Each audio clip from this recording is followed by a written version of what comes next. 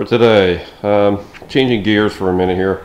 I'm actually going to start to replace the outer rocker and the inner rocker. Um, mostly because, one, uh, down in there is pretty ganked for rust, especially up in the front there. And then the inner rocker should be here today, hopefully. So what we're going to try to do is take this all out one piece. We'll see how that's going to happen. And that's why I had the extra bracing in there for four and a half and triangulated a little bit. Also a little bit of locating tab so I know how far up it needs to go. The other thing is the uh, so I can start drilling out the uh, spot welds all in there, across the bottom, cut that shit out there. It's gonna be a couple day ordeal to get this thing out, but I really don't care. I got time to do it. But at least here's the uh, new rocker, outer rocker is gonna go in. So and the other thing is too, being that the everything's gonna be apart, the uh, inner rocker and outer rocker and all. Um, on the toe board there where the, flanges, I can actually form it off the car and then just drop it into place. It's pretty close now, but we shall see uh, how much better I can get the fitment when it's off the car and I can actually, like I said, form it right to the inner rocker. Oh, about six hours later, yeah, let's keep cutting more of the car apart to see how bad I actually uh, can make this thing and how bare I can make it. So yeah, the rocker was able to get it out in one piece, mostly. Um, to cut a few access holes just to see how it was welded in there. Wasn't really sure. What was holding me up was had a couple welds across the bottom there onto the rocker, and that was right about there.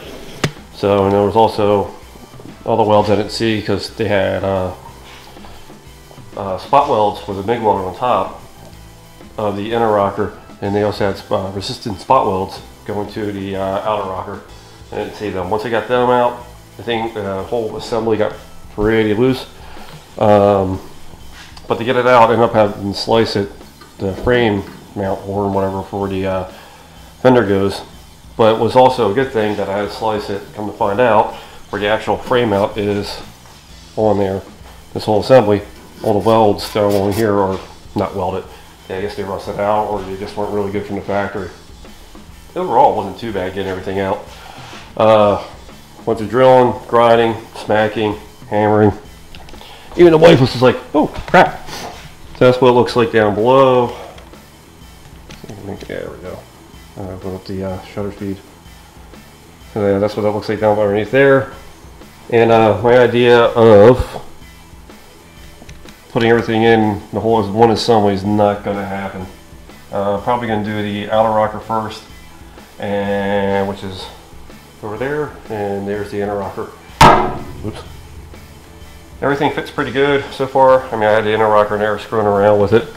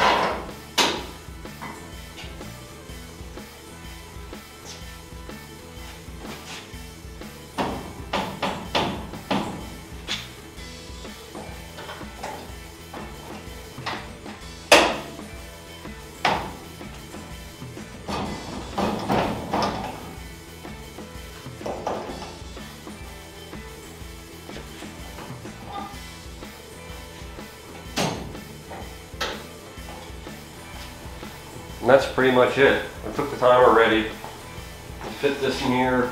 There's uh, my measurements from uh, this point here to here. I have written down six and a half inches from the uh, where the cowl cowl panel meets the uh, A pillar, B pillar, pillar.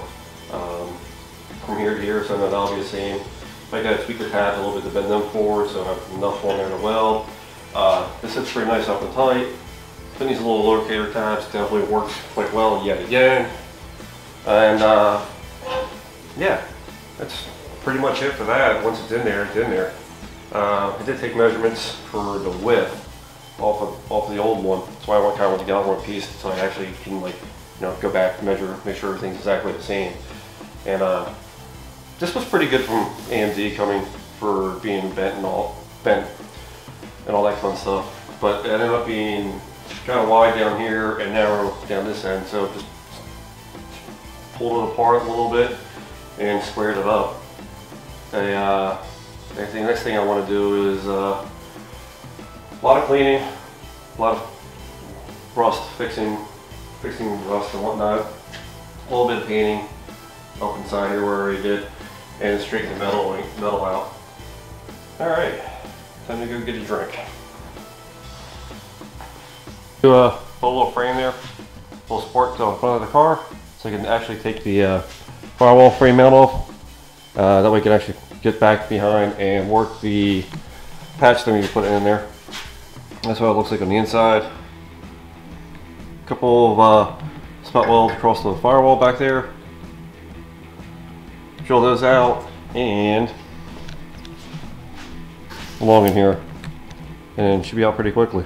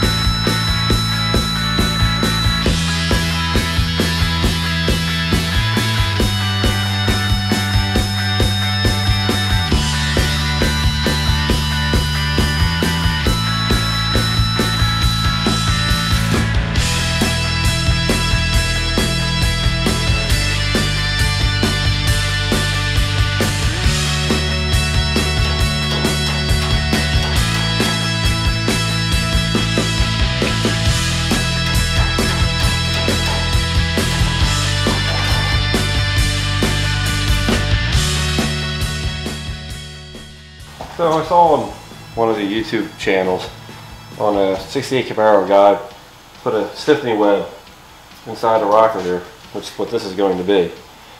But I need to take the uh, little support out I talked about previously in the earlier video. I said about where the how the airflow came through the bottom, lower plane of the mall. I think this was just the air stop for it because the driver's side doesn't have this little brace. So we got to take that guy out and then I'll fit this in here. Put a couple slices, bend it around there. And then once that's all done, fit it up on the car itself. Um, I got to order it. I'm to put a bunch of uh, holes through here, lighten it up, and then dimple die it. That way you make it a little bit stronger, ties this in, and gives a little bit of um, internal uh, rigidity to the rocker. That way it ties the front and back, the front and back part of the car a little better. And then plus also, let's see here, let's grab the camera off the stand. On the car itself, here's this uh, the brace that comes down right here from front of the car, comes down here. I'm going to try to tighten this guy too, so that way it goes from on the where the, the firewall frame mount is, it's going to tie it all the way back, back in here. And then when I go put the subframe connectors in, I'm probably going to tie them over to that also. Coming that way, we're actually where the roll bar cage is going to go. So hopefully over the weekend, I could probably at least get this done, or at least cut in there, fit it, and all that good stuff. I'm holding there two little spot welds. I'm just going to take the uh, mini die grinder and grind them out, grind them off, and then fit that in there as best as I can.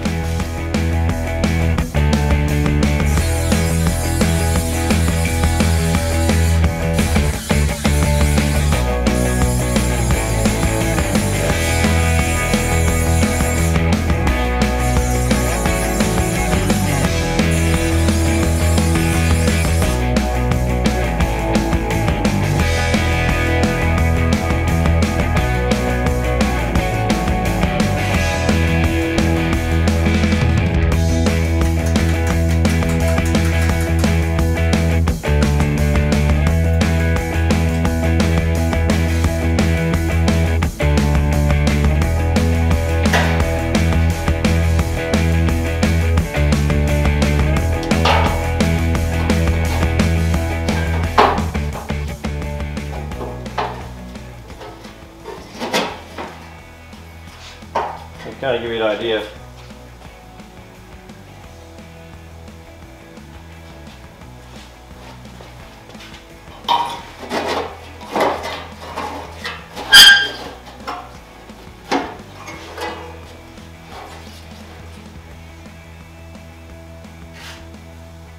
So there you go. I got the bender around here. We just saw it do a uh, splice. I'll splice it here, cut a pie out of here, and the same thing on the bottom. And then uh, probably just take it over my knee, bend it, hopefully hold position, then weld a couple pieces in and work our way down. And uh, like I said, I'll tie it into the current car frame. And then you have this one hole inside piece, ends up being boxed on the inside, a box on the outside with some 16 gauge metal. So before I go modding, bending this around to fit that, I'm going to take my uh, Eastwood's uh, surfer, surface conditioning tool, take off the, uh, the mill scale on what areas that can reach it, and hopefully uh, it will look uh, a little decent when I get done with it.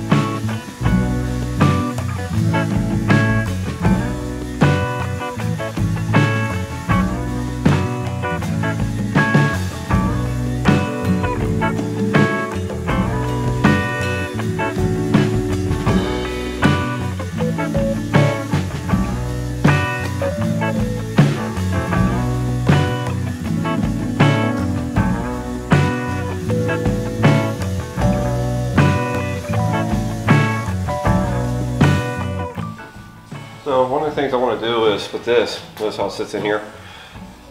Uh, got this bent up at a, at a, local metal place and uh, they bent it for me for, that was like 100 bucks for two of them. It's a 16 gauge, just like 040 or 060 thickness or something like that, I forget. But 16 gauge. Overall height is three and three quarters of an inch and the flange is one inch bent from the inside to the outside edge. And then the radius, I, I really didn't care what it was, but just by looking at it, it's probably a quarter inch radius. So what I want to do is, in here, on the rocker, that's about where it starts to bend. So right forward, I kind of just want to make a straight little line, and then I'm going to take a pie cut out of it. Same thing with the bottom, I'll get my um, square out, or uh, speed square out, and draw a line on top bottom, make the pie cut, and then start bending it to match this. Get the second bend out, I'll weld it, and I'll start on the other radius in here, which is kind of a taper, so I may have to make a splice down, a slice down in here, and just slowly work it to where I want, exactly where I want it. So one of the first things I want to do is, I had, when I had this up in the car, I took a uh, silver sharpie, marked out where the um, inside frame is there, I guess you call it, and just marked it out. So what I'm going to do is go over here, draw a line, just make a little tick mark, and then I'm going to slice that off so I can fit this in here a little more square. There we go. Take that out of there, my speed square, draw a line, cut it with an abrasive wheel.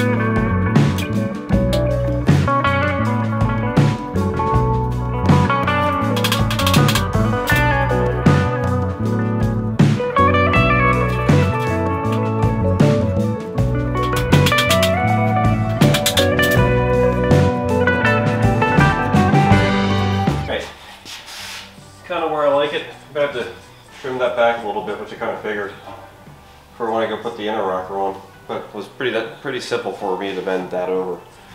What I'm going to do is I'm going to take a uh, piece of tubing here and here and just tack it in there real quick. back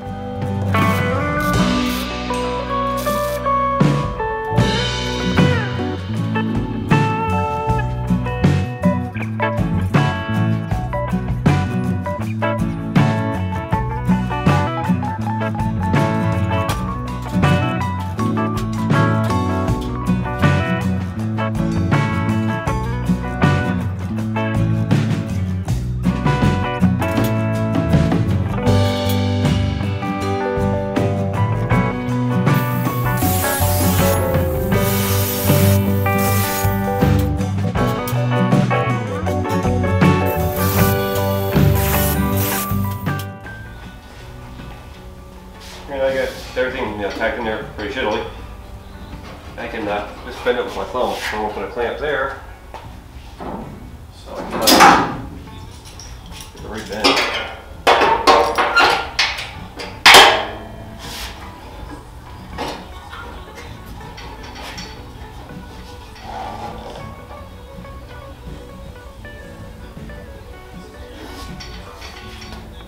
pretty good. You get another piece of tubing, tack across the top, and uh,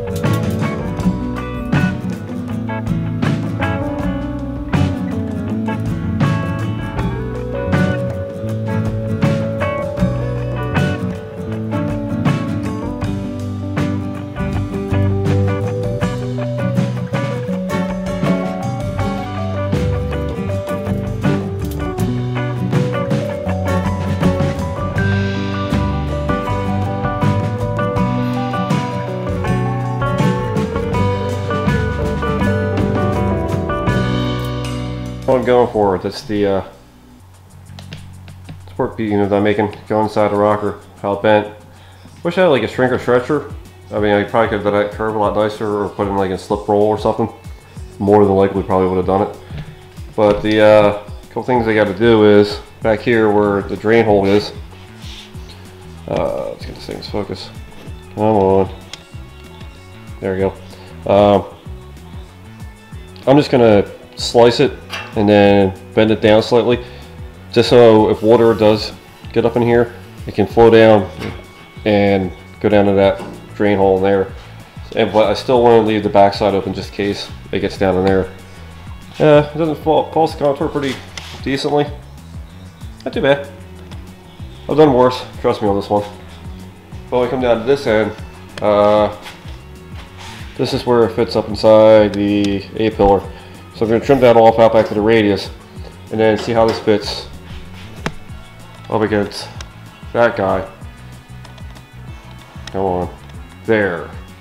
And from where I took that apart, the old rocker, after I dig it out, they squoze pretty bad and just did the spot welds and this thing was all bent and it was about the gap of that the uh, 060 gap from the uh, plate I put in there, should hopefully take that up. Uh, let me knock that out real quick, get place, and see if uh, my theory is correct. Alright, so that's what I was talking about where it could tie in up there. All I was going to do is just add some rigidity to the uh, outer rocker panel. As I'm pretty sure a factory would have uh, had some more time engineering, they probably would have done this, but eh, who knows, they would have. It would cost money, time, and effort. But nope, I get to do it now. So hopefully tomorrow I can get my uh, dimple die when it comes in. Punch a punch a bunch of holes through there, dimple die it, and then uh, I think that would be getting ready to weld that in. Yeah. So hopefully maybe tomorrow or yeah, weld this guy in and do some painting and all that fun stuff. All right, get back on the inner rocker here. Uh, let's make it darker here. There we go. Um, did the contour here for the uh, the drainage of when the water gets inside, comes down, goes out the side of the inner rocker, which kind of matches closely enough for internal stuff as that does. Um, but there's a gap underneath of it, so any water from the backside or any whatever can flow down, come out the drainage hole, and see anything up there in the brace. Well, one problem I had is when I measured this, I measured the old rocker, which was pretty beat up, and I thought it was uh, 3.75 inches overall uh, width between the bottom and the top here. Ends up being tapered all the way down. It goes down to about 3.4 inches down here, which sucks because I could have had them when they bent that up. Uh, they could have bent it on a taper for me and saved me some trouble. So what I got to do is I'm to put a split down through here, measure up. I think to take a 400, take a 400,000 split from starting probably from where the line is down here. Drill a little keyhole and uh, we're to drill a hole there so that way it has a little bit of hinge point. Cut the line straight as I can here, move on up to get the overall diameter that I want here, and then weld it back together. And I'm to have to do the same thing for the other side. But hey, it's first time building one of these things and I didn't know what to expect. So, alright, let me go uh, get some tape, yeah, get some tape and lay out lines.